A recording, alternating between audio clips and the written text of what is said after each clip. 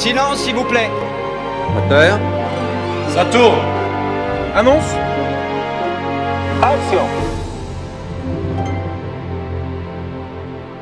Que vois-je, que vois, chère équipe? Il est l'heure d'une 72e prise Oh, 32ème quand même, non? 72. Et tu sais pourquoi? Parce que nous sommes dans la semaine du 6 de cœur, et que cette semaine du 6 de cœur tombe pile poil sur le 6 mai 2020, et que 72 n'est autre que 6 x 12. 12 étant lui-même 6 x 2. Ah oui, non, mais je m'incline, hein, devant une telle explication. Tu ne pouvais rien contre tous ces 6, et contre toutes les étoiles dans l'univers qui actuellement sont alignées d'une manière telle que je pense qu'on va avoir des surprises de coïncidence dans cette émission? Bon, très bien. Comme toujours, hein, le même concept, hein, donc les 5 mots qui sont prononcés sur un plateau avant chaque prise. 5 seulement? Oui C'est dommage, c'est la semaine du 6. Il nous faut donc 6 mots. Alors, allons-y. Bon, tu avoueras quand même que une telle réunion de 6 impose un certain respect, donc parler à voix basse, ça ne dérangeait personne. Par exemple, que susurre le premier assistant réalisateur qui veut démarrer la prise? Silence Que murmure le cadreur qui vient d'enclencher? Silencieusement sa caméra Moteur. Et que chuchote l'ingénieur du son qui essaye de monter au maximum le volume de son appareil Parce qu'avec tout ce monde qui parle à voix basse, il n'entend plus rien Ça tourne. et que marmonne le cadreur à l'intention du clapman pour que ce dernier fasse un clap discret Annonce. Et enfin, le summum du silence, que télépathise le réalisateur pour mettre en route toute la machinerie Action Bon, bah, ça suffit là maintenant.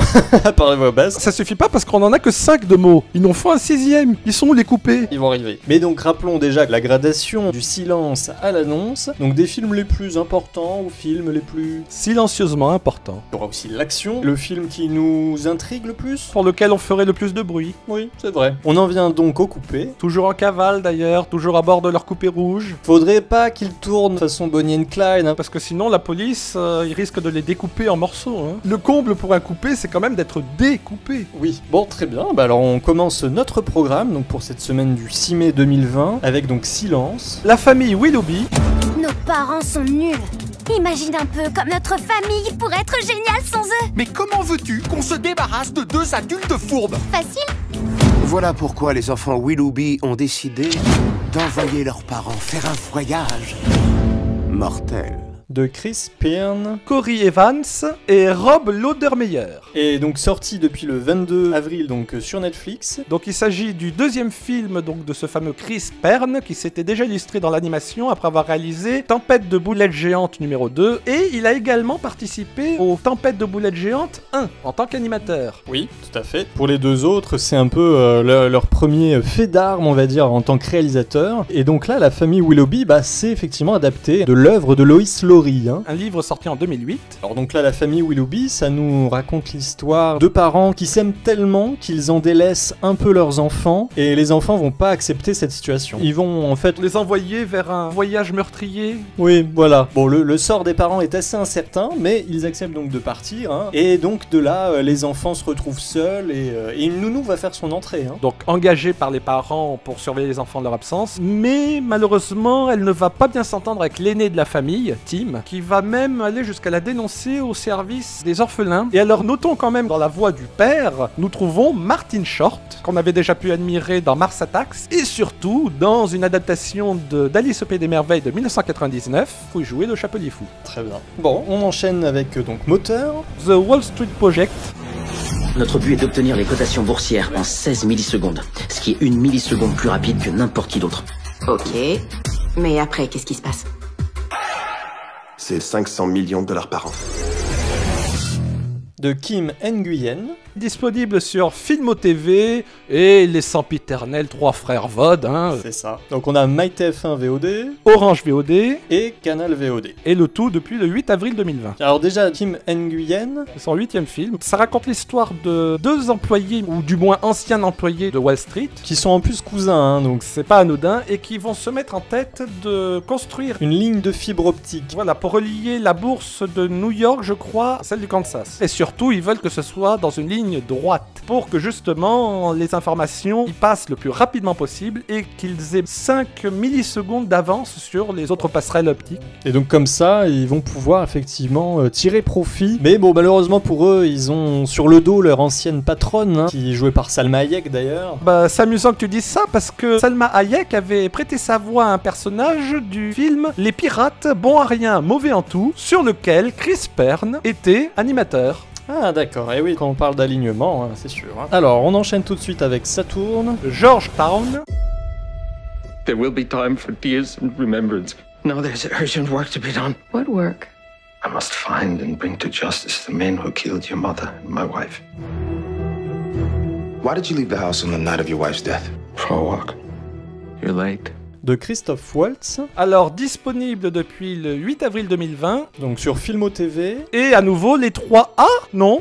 Il ne reste plus que Orange Vod et Canal Vod. À mon avis, il y a une question d'héritage et si l'un des trois frères a disparu, c'est mauvais signe. Et à mon avis, Filmo TV, c'est le notaire. C'est lui qui ça. doit gérer la fortune des parents. Alors Christophe Waltz, c'est son premier film, on peut dire. Il avait fait un téléfilm, Et alors, pour son premier film, il s'inspire d'une histoire vraie. celle de- du meurtre de Viola Ernst Drass, une riche femme. qui a aussi, euh, sur le plan politique, eu un certain poids. Et du coup, de son influence aussi, bah, elle a finalement attiré l'attention euh, d'un certain Albrecht Muth, joué lui-même donc par aussi Christophe Waltz. Et malgré l'écart d'âge, eh bien, il va se mettre en tête de l'épouser. Apparemment, il traîne avec lui un passé qui fabriquait un peu de toutes pièces. Oui, Ça a l'air quand même d'être un magouilleur. tout à fait. Alors au casting aussi, on retrouve Vanessa Redgrave, hein, donc dans le rôle de, de Viola, et aussi Annette Bening. hein. Annette Bening, qui a donc euh, joué la femme de Heartland dans Mars Attacks. Le même Mars Attacks dans lequel jouait Martin Short. Ouais, non, non, mais là, quand on dit qu'il y a un alignement, il est bel et bien là. hein. Et attention, l'alignement n'est pas fini parce que j'annonce qu'elle a un rôle dans le film Mort sur le Nil de Kenneth Branagh à sortir prochainement. D'accord. Souvenez-vous de ce nom, Kenneth Branagh. On poursuit avec euh, l'annonce. New Lives, I've lived in California almost 25 years and I've never been at the beach. Would you want to spend a day at the ocean with me?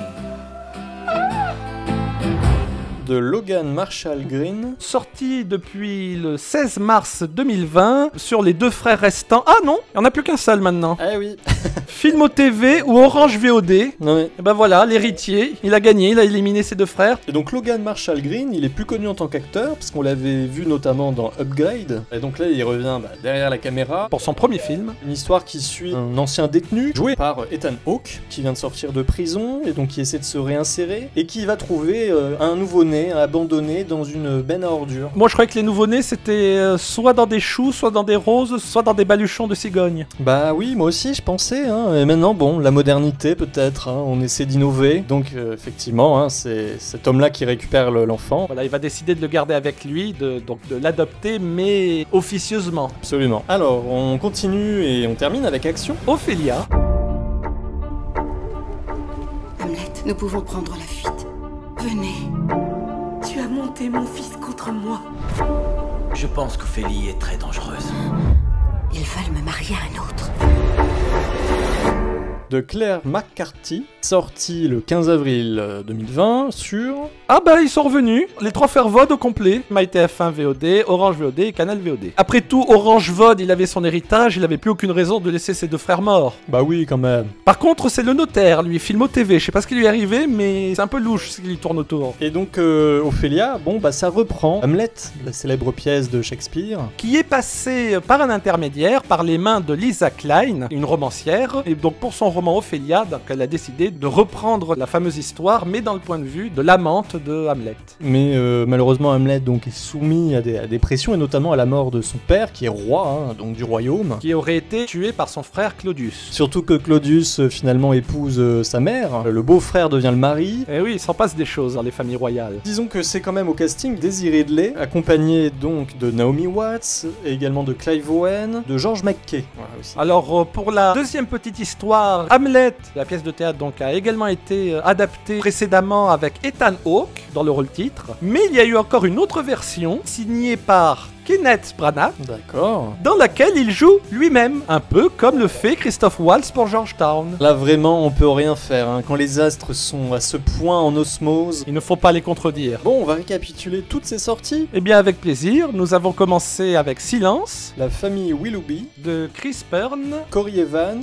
et Rob euh, Laudermeyer, On a poursuivi ensuite avec Moteur The Wall Street Project. de Kim Nguyen, Ensuite, nous avons enchaîné avec Saturn Georgetown.